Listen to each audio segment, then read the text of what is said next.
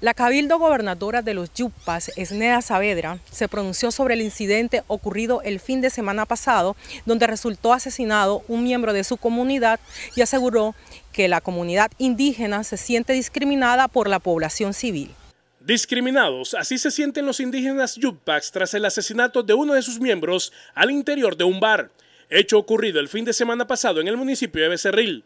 La víctima fue ultimada de dos impactos con arma de fuego a manos del propietario de un bar.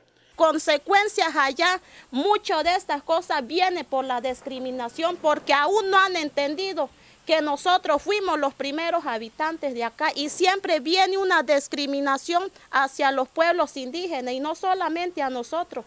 La discriminación se lo hacen a los negros, a los afros, a los indígenas y muchas veces nos toca reaccionar de esa manera por esa, por esa discriminación. La cabildo gobernadora del resguardo Socorpa del pueblo Yupa, Esneda Saavedra Restrepo, dijo que una de las viviendas fueron incineradas por algunos integrantes de su comunidad en un momento de furia, pero no es un acto terrorista como lo insinuaron en las redes sociales. Esta situación produjo alteración del orden público durante varias horas. El día 10 de marzo, el domingo pasado, ocurrieron unos hechos donde a nosotros nos asesinan a un miembro de nuestra comunidad, de hecho, sobrino de mi mamá, primo mío como cabilda gobernadora. Asesinan a nuestro miembro de la comunidad, pues los motivos no sabemos porque él solo llegó, fue a llevarse a su hermano. Y han llegado tantos comentarios por redes por medios de comunicación a donde nos están algunos medios de comunicación y respetando. En vez de buscar la raíz de los hechos, la, la raíz de lo ocurrido ese día, nos están acusando de terroristas, de vándalos, a donde nosotros queremos y exigimos respeto para el pueblo Yucpa. Hemos estado concentrados tres días desde los hechos, hemos estado concentrados, llevando, mirando, analizando para ponerle un control como autoridades que somos. Hemos estado con el acompañamiento de los demás cabildos gobernadores de los distintos resguardos que están en la serranía del Perijá, llevando a cabo para darle una salida a los hechos, pero no es como están diciendo que nosotros nos estamos preparando para envenenar, para hacer una guerra en el municipio de Becerril. Eso es mentira. En cuanto a los predios que resultaron quemados, luego que varios nativos tomaran justicia por sus propias manos, dijo que actuaron así porque los indígenas que estaban presentes tomaron represalias con el responsable del crimen de Eder Enrique Caballero de León de 42 años. Es cierto que hubo varias viviendas quemadas, pero más no. El pueblo Yucpa no se ha ensuciado las manos con sangre. Solamente quemaron en el momento de rabia, porque si bien lo sabes, sí somos un pueblo guerrero de descendencias. Todos somos, actuamos de esa manera.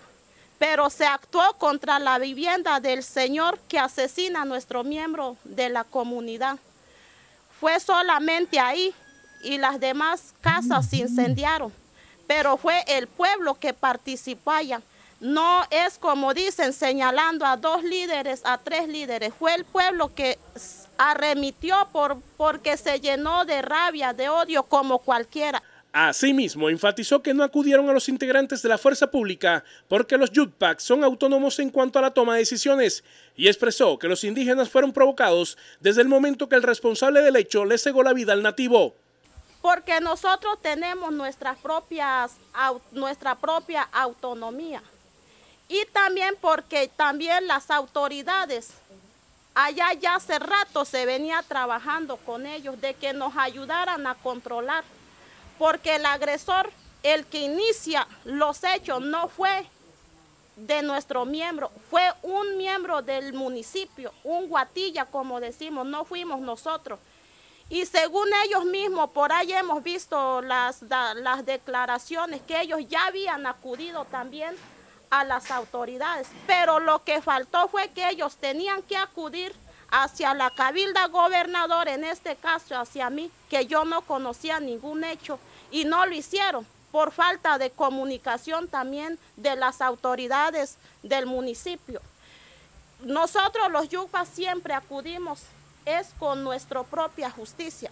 El sujeto sindicado de ser el autor material del homicidio identificado como Urdenol Francisco Dazabeleño se presentó ante las autoridades ayer miércoles. Fue judicializado por los delitos de homicidio y porte ilegal de armas de fuego en el Palacio de Justicia de Valledupar. Por tal razón, el juzgado cuarto penal con funciones de control de garantías le ordenó medida de aseguramiento intramural en un centro penitenciario de Valledupar.